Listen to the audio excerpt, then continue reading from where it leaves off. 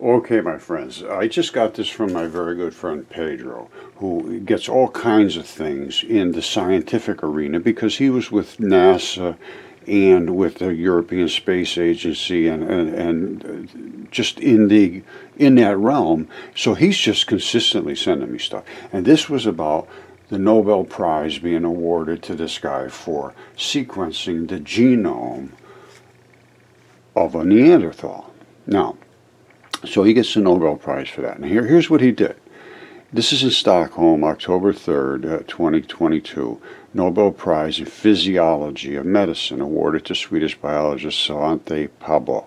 The Nobel Prize Committee Stockholm Institute announced on Monday. Now, the scientist was awarded the prize for this for his discoveries concerning the genomes of extinct hominins and human evolution. So extinct hominins means things that were pretty close to us, like the um, Neanderthals and so forth, but they're not here anymore.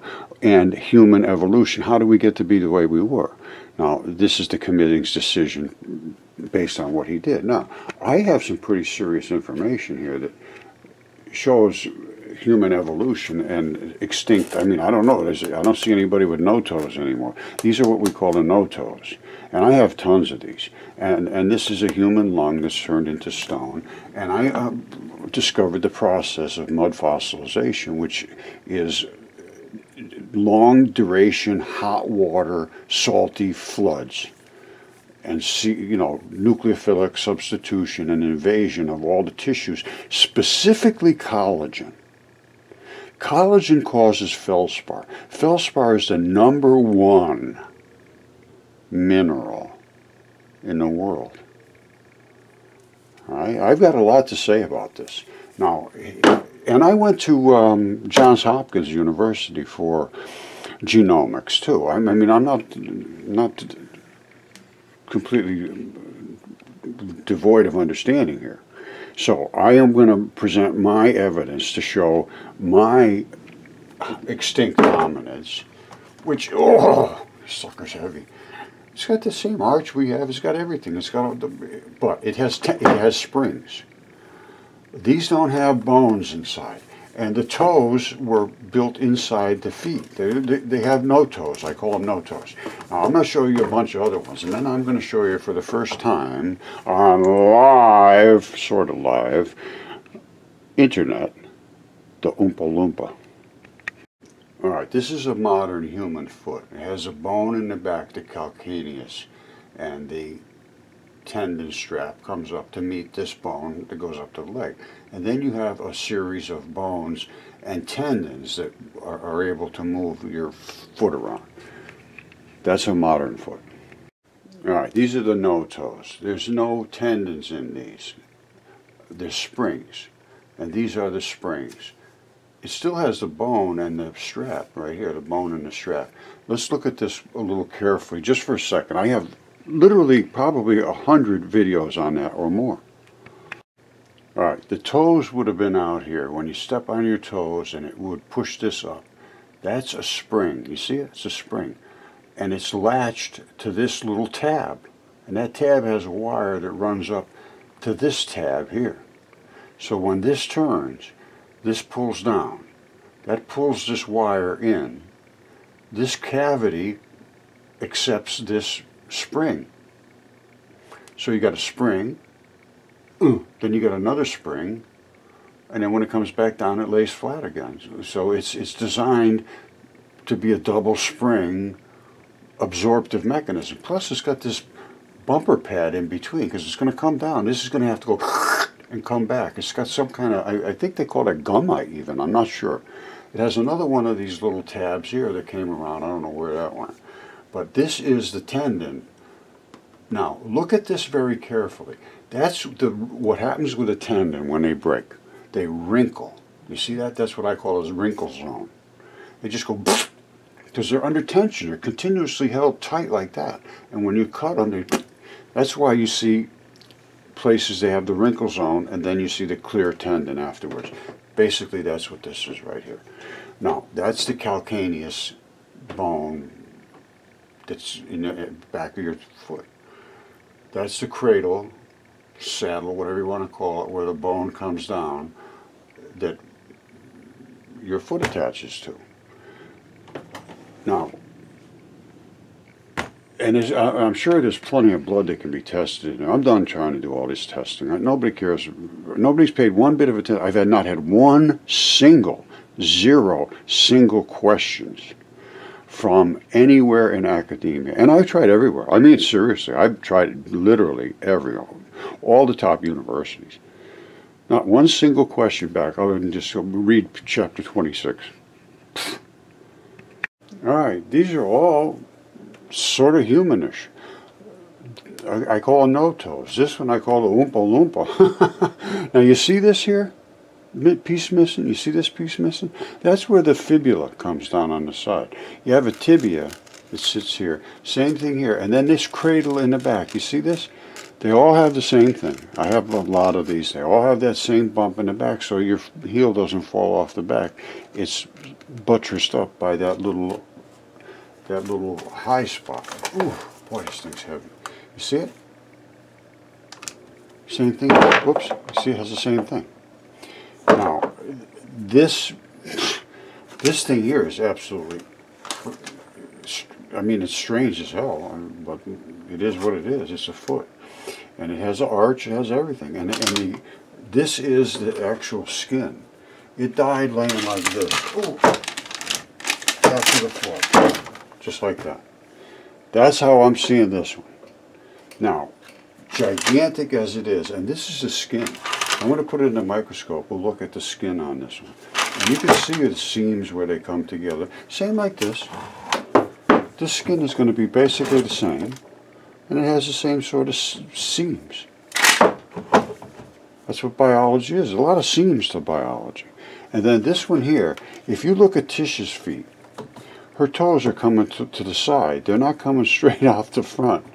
And that's what this is. You see how this is they're coming to the side? I always wondered, I said, why is that like that? But Tish's are the same. See this this is Tish's toes are, are, they're going this way, they're not going straight out. Same thing with this one. They're going sideways, they're not going straight out. I had wondered about that for a long time. Alright, this was a, a leg that Tish found. These are all the pins and springs and the the heel bone and the, the, the I mean, blah, blah, blah, it's everything. It's exactly what we saw before. That sits in the cradle, and um, it has like a plate that runs up the leg, and then bloody muscle tissues and so forth behind it. Totally different than ours. Now, I had three samples tested for DNA to see if they were human or not, and that's all I wanted to know. I didn't want any full sequencing or anything. And I worked with Helix Biolabs, and Tom Pachenko, who I worked with, was one of the top people I've ever worked with. He was, he's a scientist. Now, I extracted the samples, so I didn't send him a big chunk of stuff and he took it out of there. I cleaned everything well, extracted it from deep inside, drilled down inside. I didn't take anything off the surface. And I will show you what I sent to him. And there was three things. There was a 36 inch tip, which is a fingertip, 36 inches long. When I show it to you, you're going to freak. The long that I think I've already shown you. And a mud tip, which is a fingertip that was about 8 inches long, but it's still giant. And here's what it, it, it he went through very, very well done. And I know he took some heat for it because he said absolutely 100% it was human. Excellent quality. See this? Excellent quality DNA sequence was obtained for the 36 inch tip sample and the lung sample. Now, the, and the, the mud tip was a little less, but still 100% human Homo sapien. And these are the two areas they tested for the mitochondrial cytochrome B and D loop. And they matched exactly the humans. And so uh, this was back in 2015. This is a long time ago. No, not a single. I sent this everywhere. Nobody interested whatsoever. And all they, I'm, I know they assaulted everybody. I had CAT scans done from Jesse Garant and Associates, the nicest people I've worked with as well. These are true scientists. Jesse Garant and Associates, nicest people you could imagine. they did CAT scans. They did seven CAT scans, and and they were mud fossils is completely invaded, nucleophilically substituted. You can see the very shadows of things, but they're not as as illuminating as if you had fresh tissue. So the mud ones, eh, they didn't. I didn't get a whole lot of detail, but enough for me. I could see it quite easily. And they did seven CAT scans for me, no charge, in the interest of of science. And they do everything. I mean, they, they work. They have all the top people in the world. They do research for uh, for um, Rolls Royce and Pratt and Whitney, and I mean, this is this is some pretty hot stuff. You look over here, Jesse Garant Metrology Center. Recently become an approved aerospace CAT scanning supplier for Rolls Royce, Raytheon, Pratt Whitney, everybody. Five star rating. These guys are top, top, top shelf. And like I say, all I had to do was pay to ship the stuff out and back. And they did all that CAT scanning and, and stuff for free. And I appreciate it. Thank you, Jesse. Thank you, Fabio. You were a pleasure to work with. Okay, like I said, I have some background here in genomics. I took a genomics course with Steven Salzberg at uh, Johns Hopkins.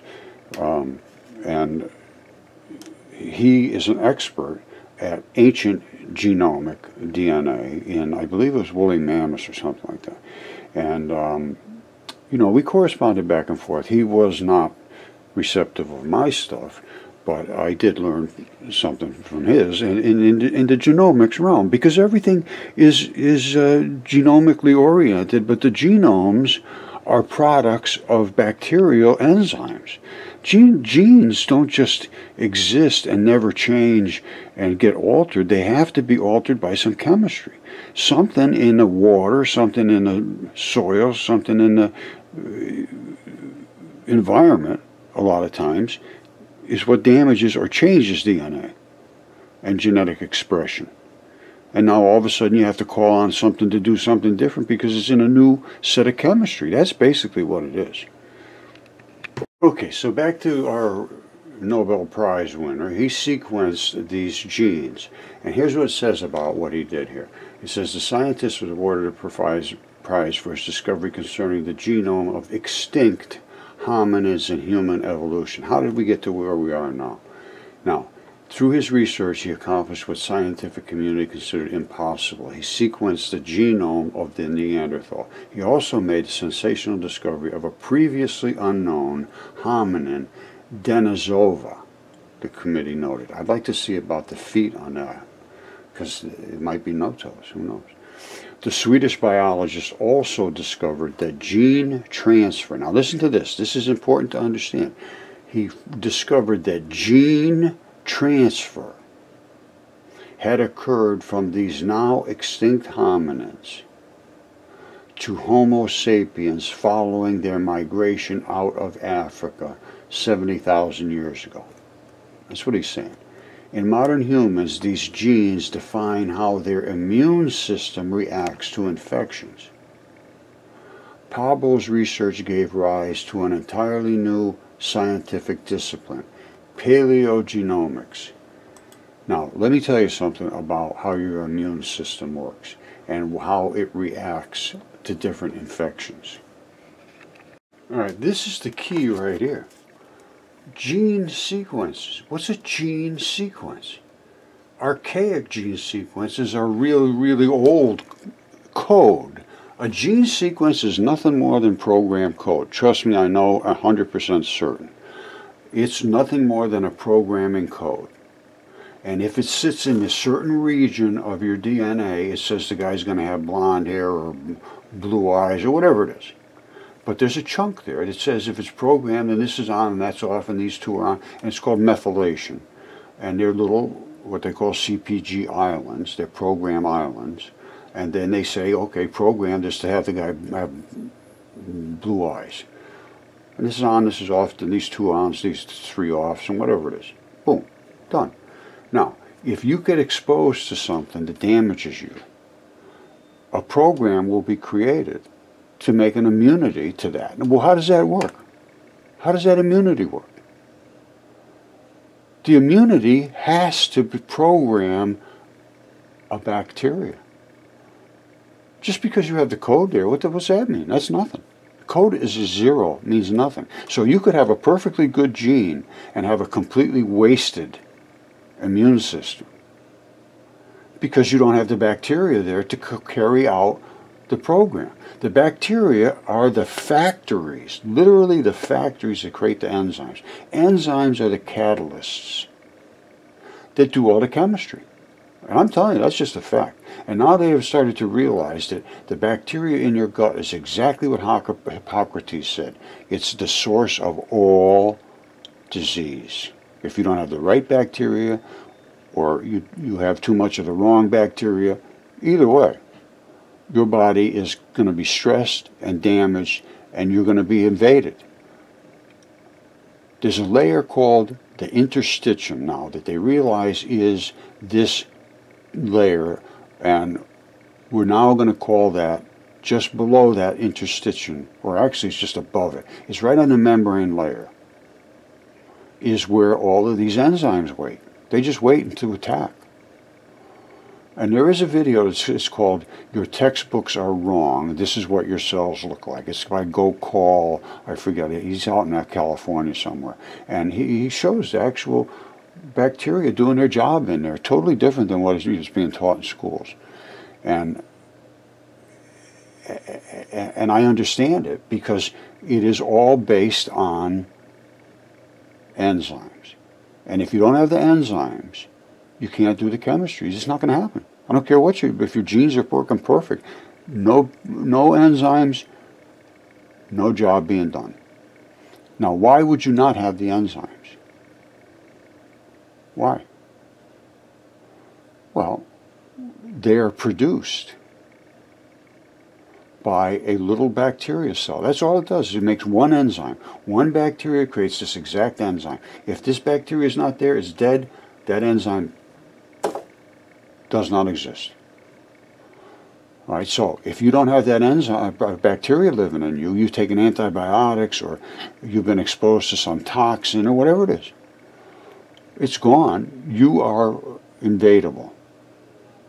And that's why people are getting so sick because uh, there's a lot of a lot of nuances here that can also be attributed possibly to genetically modified foods because they kill bacteria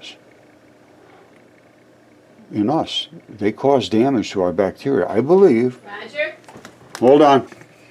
Okay, that was a pretty good spot to get started to wrap this up. This is the Oompa Loompa foot. And back here is that cradle that I talk about. And this, this is where the blood supply comes down from the leg. And then there'll be some connective tissue in there as well. Now, I'm going to turn off the light because you have to have it dark to be able to see it. And here it is up in the microscope. And that's from a long distance off. You can see the red blood and you see the white connective tissue in there. All right, now I'm going to bring it a little closer, and then we're going to look at some other ones real quick, just to finish this off. All right, blood can be gotten out of here extremely easy. Uh, all I did was just barely touch this, and a chunk of blood fell right off. I'm going to see if I can move it here. See it? Look at that. That, that chunk fell right off.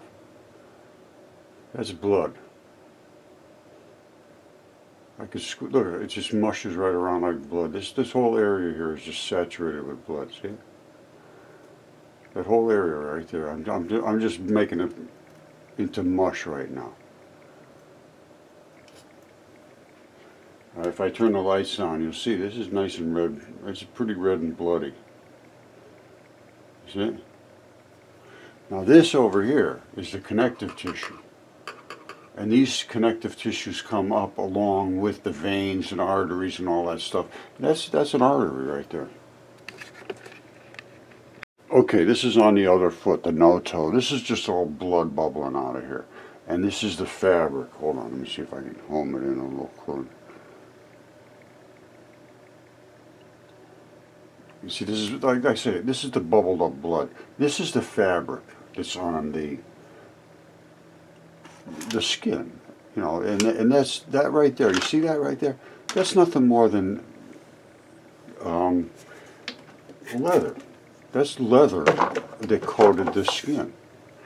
I just put some water on there. Let's see.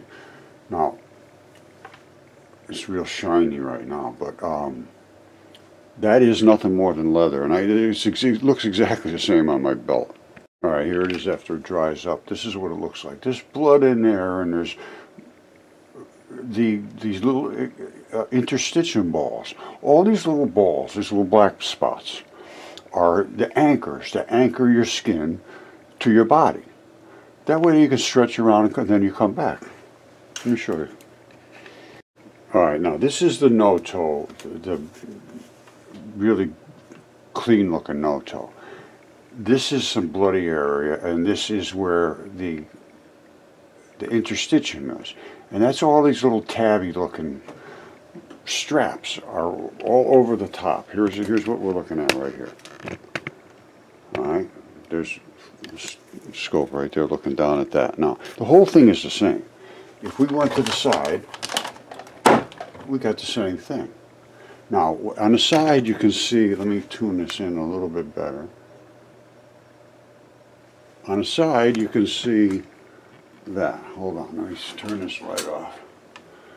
All right, that basically is what the fabric of skin looks like and hide. Let me show you my belt. This is what leather looks like when it's tan. It's the same sort of stuff. Now let me show you where a belt loop is. And you'll see the here here down here, see? See right there? All of that's the fabric. Every one of these has a, a, a strap built into it. And that's what holds it, the ball in place. And that's why this can be flexible and bend like it does. And stay and, and not break. Because these there's all these straps in here. And you have the same thing in your body and all your skin. So you can move around and uh, and that's that's what I'm showing you is these these skin tissues. Now, let's look at the Oompa Loompa. Right, there's the Oompa Loompa. It's exactly the same stuff. It's collagens, and they have trans transition into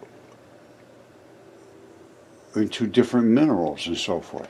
And uh, you know, there's uh, bloody areas. There's these. This one, the the Oompa Loompa. What we're looking at here is the Oompa Loompa, and that one there is way way eroded, basically. I mean, it's about done now. But this is what happens to the skin. Now, what I had to do with my other ones is I had to break down and drill down into these bloody areas to extract some blood to get it DNA tested. Hold on a second, let me show you the side. All right, there's the side of the Oompa Loompa, this is the blood that has drained down because this would have been on the bottom. You could see little red blood spots behind those tissue layers. And there is the Oompa Loompa right there. Now don't forget, this has the, this is where the fibula was. The tibia comes up here and the fibula sits down on the side and that's, they break right off. Same, all of them, uh, all of them have. And this is the side that it was laying down on. And that was what we're looking at up here in the microscope. All right, you see, see that little red blood spot right there? I mean, they're all over the place. It's not like there's just one here and there. They're everywhere. And they, they, what happens is the blood leaks down and it collects at the bottom and scabs over, and then you get stuff like that. Very easy to get blood out of this, no problem. So, what I'm getting at is, is it's nice to know these DNA sequences, but where did they come from? This is what I want to know. Are these relatives of ours? I haven't had these DNA tested. I had the, the lungs let me see what I have. I had a lung. I had um, a big, gigantic hand, which was three feet wide, and I had another fingertip, which was three feet long to just one fingertip. Where did I show you that? Okay, I'm just going to leave it at this. This is the fingertip that's in my yard. It's three feet long from here to here. That's the fingernail. that's the pad that is in the right behind the the bone, so that you don't scrub the next bone. These two are the blood supplies. That is the fingernail, and it was pretty well taken care of. And this is the actual grip skin, which is, uh, where is it? All right, well, grip skin is the stuff that's on your fingers, your toes. It has the ridges and the fingerprints and the sweat pores and all that. This is the piece I had to break off the edge of that finger so that I get down inside to where the blood is. This is the pad that's on top. It's called a, a keratinized, cornified, heavy-duty layer that it, it's just there's nothing there other than a layer of dense cornified skin. And so you got to go down and get the blood, and that's what I did. I broke that piece off, off of the edge here, right here. You see, right there, that's gone. And all I did was a bang with a pretty heavy hammer, and it popped right off because it's just barely glued on there. That's the layer, the membrane between your skin and inside. So that's that big fingertip. That was DNA tested. Excellent quality DNA, they said. And this was the DNA reports. You saw these. Right, now, I also had a hand done, which is this one. All right, that's the hand. And you left your put your left hand out like this. You have this tendon that runs down. There's the bumper pad that runs around your hand. That's the cleave right in the center between the two pads of your hand.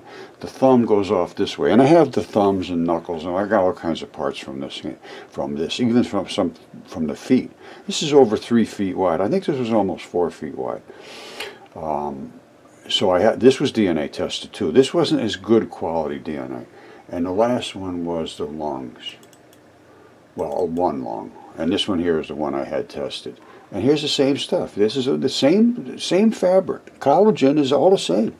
It's all the same. My goose has the same stuff. Every single thing that is made of collagen turned into aluminum silicates.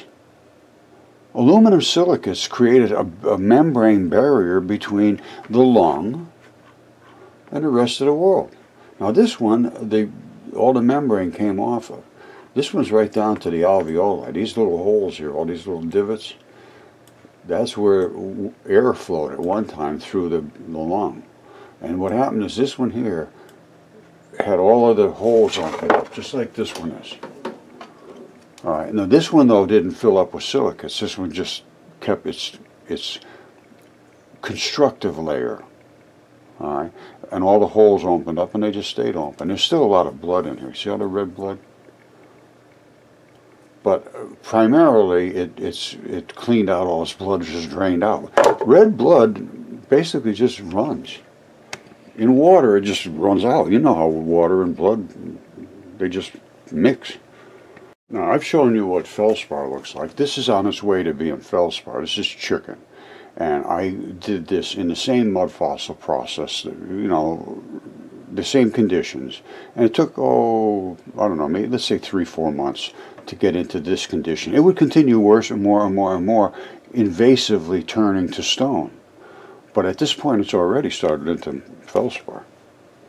All right, I'm going to leave it at that for now. Um, and again, this is sort of a um, just a commentary on what happens day by day. But we're going to take a regular a process of we're starting with electronics and the, the nature of how all of these things interact with each other. Because these are nothing more than molecules and different chemistry. And if you don't understand the chemistry, I don't care what you do after that, you're done.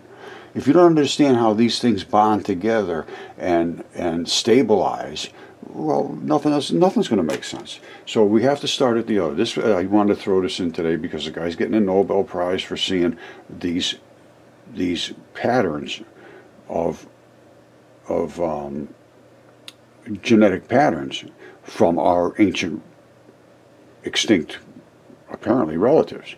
Now I don't know about you, these. Well, I know the stuff I had. The giants 100% exactly identical human DNA in two regions of the mitochondrial mother's side DNA. That's all I wanted to know. Was it a human? And yes, they were.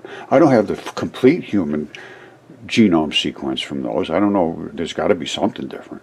But not in that region. It was mother's DNA is identical to ours. Identical. You know, I was looking up Svante here, and um, he's a pretty interesting guy. He's working basically the same things I'm working on, the ancient creatures that were here in search of lost genomes. I don't really care about the genomes. I'm interested in the creatures and what was written about them. Appears to be true. I mean, it's just spectacular, but something that's true is true. Now, the other things he does is he's doing a Neanderthal man, in search of the lost genes, and the E19 protein of adenovirus modulates the immune system. I'm deep into the immune system too, and, and the DNA and how bacteria regulate your body. Bacteria is the only thing that makes any chemistry in your body. I'm going to try to get in contact with him. Or if you know Svante or anybody that's interested in the, the stuff I'm showing you, I have found very little reaction back to me because I was put on a bunch of spam lists and so forth and really tainted badly in the beginning. Um, and it's just never worn off. so, you know, I got what I got. So if you can help, help. We need to get this understood. I mean, there's so much that needs to be understood. It's just hard to understand.